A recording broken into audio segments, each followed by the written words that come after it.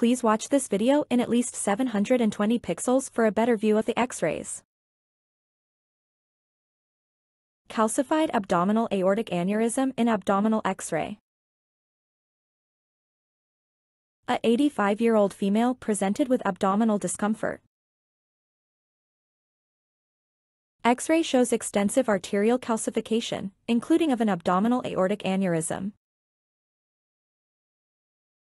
The abdominal aortic aneurysm was confirmed to be stable and unruptured on subsequent CT.